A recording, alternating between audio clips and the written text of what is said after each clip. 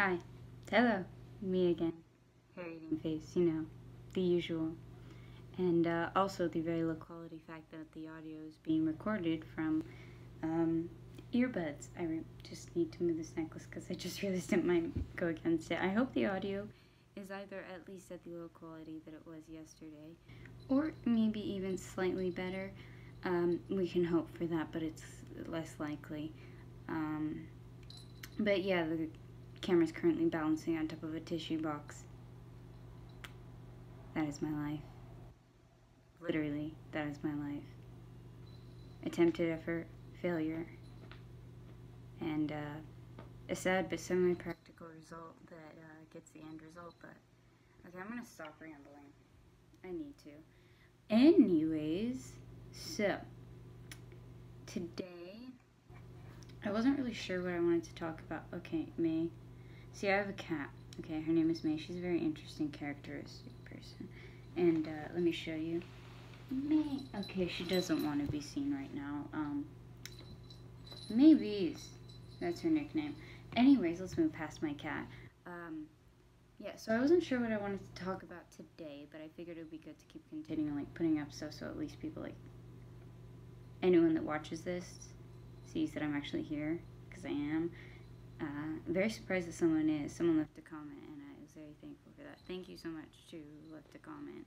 Um, I have a horrible thing with memorizing names, but I love to reply to it, and I really appreciate it because sometimes it, like for the most part, although I haven't, I have barely anyone watching, and but I do have views and stuff. Like it feels like it's fake just because it's like I don't know who's there, so it's nice to know someone's watching it. But I'm used to talking to myself, so continue with that. I like I said I wasn't sure, but I was thinking of doing a story time for today, and I have some story times, so they're kind of like two story times. Um, I'll probably do one and see how long it is, but um, yeah. So these are my autistic story times of times where I had no idea what was going on, but was very concerned. So this one time I was in the car with my mother and she was driving me somewhere. I, I don't remember exactly where, but we were just at a stoplight and we were in a fairly um, calm, excuse the jingling, that's my cat, a fairly calm um, suburban area. Not usually people like, though of course there's crimes, different residential areas are like better than others, but this one in particular, when we were driving, I haven't seen many things that would happen, except this time somebody decided to have extreme road rage. And I'm not kidding when I say I was sitting in the car and I look out, and there's a car in front of us. We're at a stoplight, okay? So there's a car in front of us, then there's us, then there's a car behind us. And the situation was kind of odd because the guy in the front seemed to have a lot of road rage for the person behind us, which is kind of weird because they were behind us. I don't know if something else happened.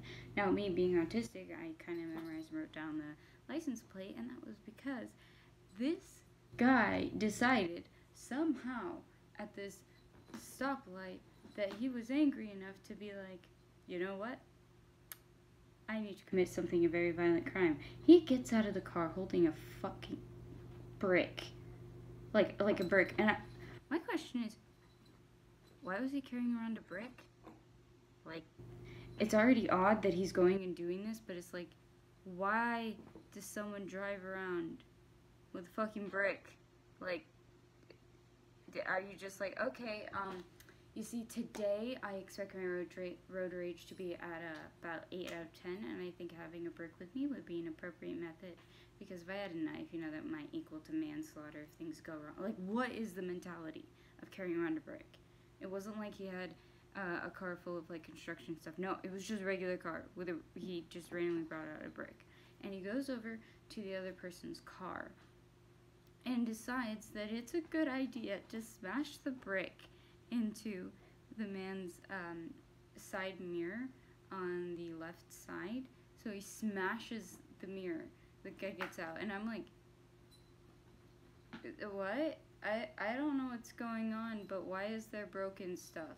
And my mother's sitting there like, uh, I don't know what to do. She she uh, kind of reacted like really frantically a bit because this was happening fairly fast, but it was just kind of like hard and ridiculous. But me, I was like, okay, this is bad, and I watch way too much true crime. And I was like, probably report this, judge it. But it was like, all right, it, there's no other way to like tell it because I don't know their names or anything like that. But I copied down one of the license plates.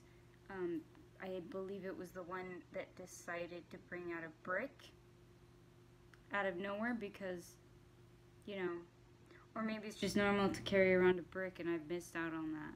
I have no idea. That is the most bizarre thing to me is that who carries around a brick in their car?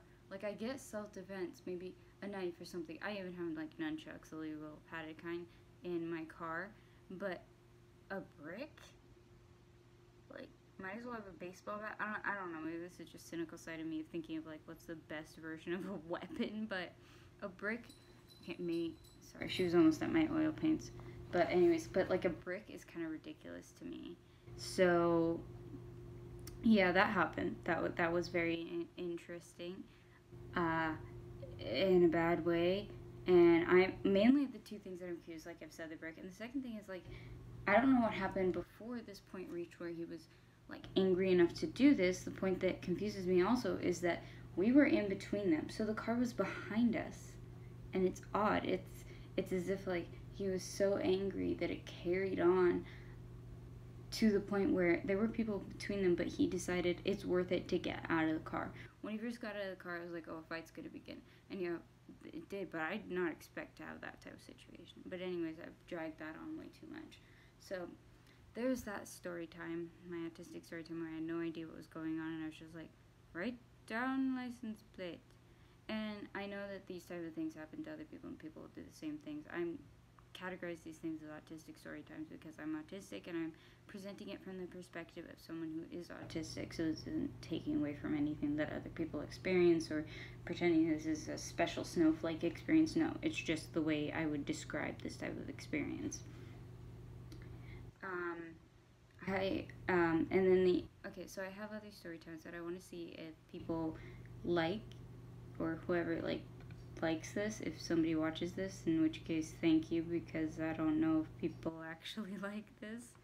But um yeah if if people if you guys um like it and you want more of it just leave a comment or thumbs up.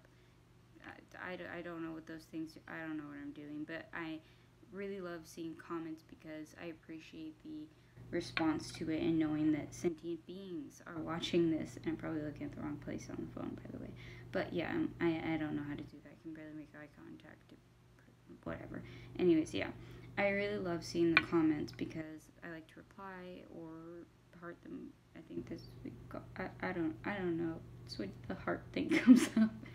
But it shows me at least that people are enjoying it. And although i don't um, consider it appropriate to have rude language and all that, I'm very much open to critical analysis from productive perspective. So if anyone has that type of idea, that's fine, just as long as it's presented in a respectful manner. And I really, really would love to have comments, and thank you to whoever does, because that means a lot to me. Now, the next story time that I was thinking of was again, these story times are kind of short because they happened a while ago, and it's hard to remember all the details, or all the details of some of them are private if they involve other people, and I can't like just say explain an extra about roads and stuff like that. But the next story time that I was thinking, I might, I thought about adding it to this one, but we're already at like what eight minutes or something, and I don't edit, so maybe not. But the next one was about the time is going is if you guys want to comment like this or something, or maybe I'll just randomly do it. I don't know is about the time that um, an Uber driver thought I was a prostitute, myself and a friend, and uh, attempted to proceed. Not like assaulted, but like attempted to um, ask about monetary aspects of it. But I'll leave it at that, so it's not too um, too much given away. That's a short one. I'll probably combine it with something else, but yeah, so that's the next one. It's pretty interesting. It's one of the experiences that I have that I think of a lot of like one of the craziest things because it's like an Uber driver just being like, "Yeah, hey, you prostitute." Like, what gave you that idea? Why are you saying that? And if you're an Uber driver, why the hell would you bring that up? Things in life are just confusing, like the road rage and all that, and I don't understand any of it. But I feel like a just like a, an observant person from the outside, and these are the ways that I interpret things, and I felt like sharing it. But thanks for listening for whoever did, and comment if you like it. I don't know what thumbs up does, but do it because at least I think it, at least it'll show me if you like the video.